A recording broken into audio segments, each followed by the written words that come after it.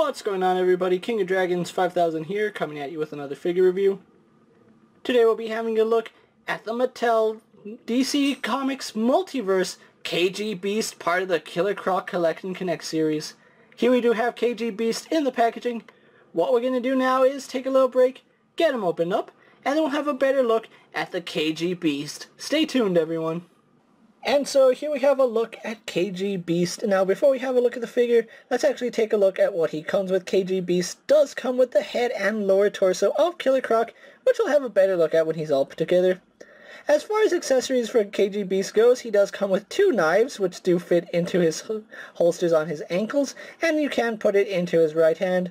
He also does come with a bigger knife that does fit into his arm cannon, and it does fit in his hand if you want him holding it.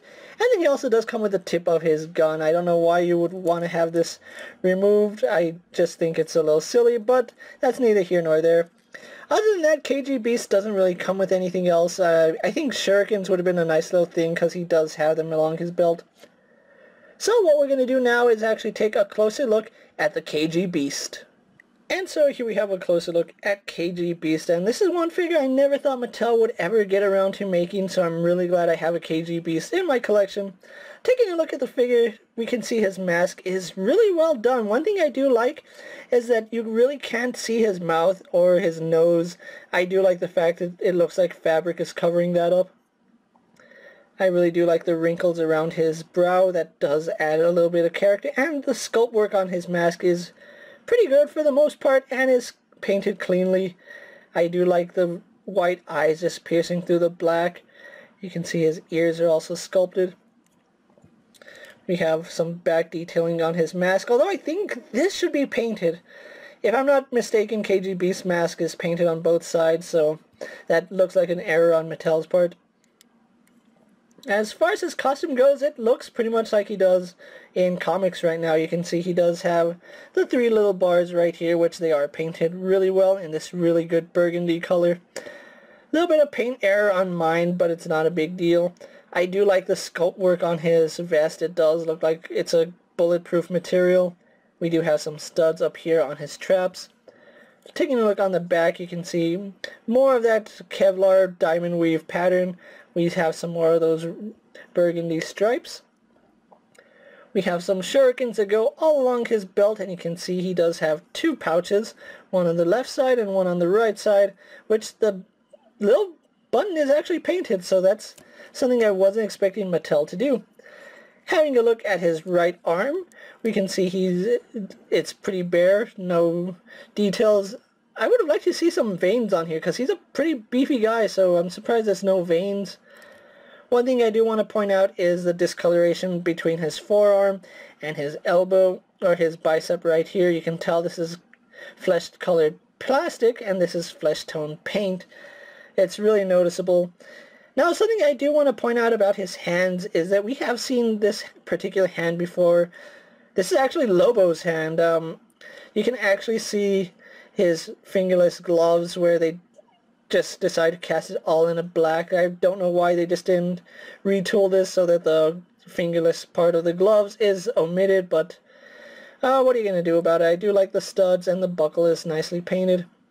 Having a look at his left arm, you can see he has that KG Beast tattoo going down all the way to his arm cannon, which they did a really good job on his arm cannon. Now, I do have it with a knife right here, which it can peg out if you really want to. It's a little bit stiff and it's not the easiest fit mainly because this is soft plastic.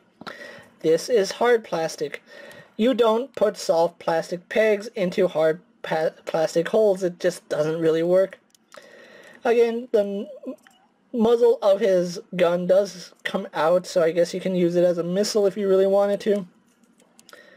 He is wearing black tights and they did a really good job with the sculpt work on his pants. You can see all the wrinkles and folds. They do look really good. Having a look at his boots, you can see the sheaths that house the knives and again the knives are removable if you want to have him wielding one or another figure wielding a knife.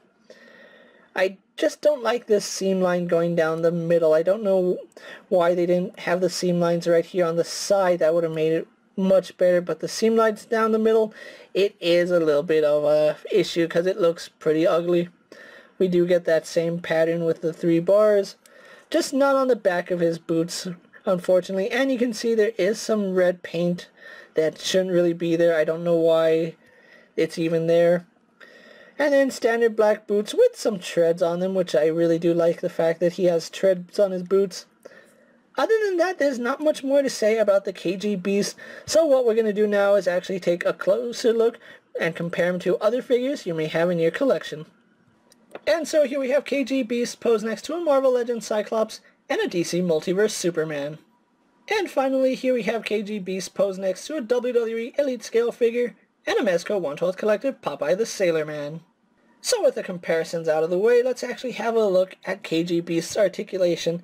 He does have a ball joint in the head, which does give him a generous range going up, and a really nice range going down, and that's because it's on a hinge. Oh wow, I didn't even notice that his neck is on a hinge. It was just kind of stiff on mine, and I really wasn't expecting it to have a hinge, so that's pretty good. Uh, we do have very slight head tilt, so it's non-existent. His head does turn left and right, a little bit hindered by his suit right here, which is a soft overlay. Arms do go out to the side, only to about there. He has some pretty chunky arms, does a full 360. Swivel at the bicep, has a single bend in the elbow. His wrist does have a swivel and an in and out hinge, so that works pretty good. Left arm, we do have a swivel right here on his arm cannon, so there is that, so you can actually have that pose. We do have an ab crunch in his torso, which does go back to about that far. Goes forward about this far, and it actually surprisingly works well, despite the fact he has this rubber overlay on his torso, so that's pretty co cool. His lower torso is, of course, a rubbery overlay as well, so his legs do kick forward only to about there, not the best range we've seen. They do kick back only to about that far, again, due to that overlay. They do go out to the side all the way, but his he has a lot of hindrance right here in his torso because you can see the utility belt does push his leg down. Does it do it on this side? Not so much, but it still does it. We do have a thigh swivel, but they didn't engineer it all too well, so it does little to nothing. Single bend in the knee works fine. He has a hinge in the ankle which goes back and forward. Mine is a little bit loose on the left side. On the right side it is perfectly good. And then we have forward-facing pin for rocker ankle. So overall, a really impressive figure by Mattel. So what we're going to do now is actually get him posed for my final thoughts, and then we'll wrap up this review. And so here we have KG Beast posed for my final thoughts. Overall, Mattel did a really good job with this figure.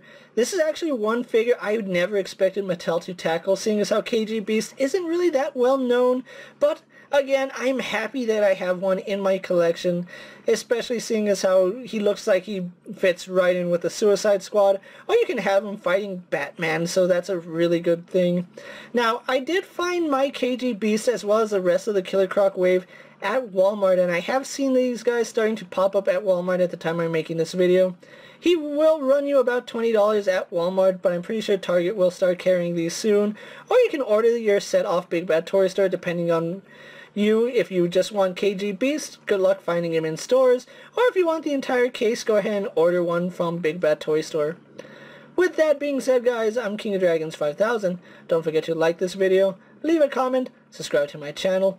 Go check out all my other action figure reviews as well as all my other DC Multiverse videos. Hopefully you find them informative. As always, if there's a figure you would like to see me review, let me know down in the comments, and if it fits in my collection, I'll definitely have a look at it.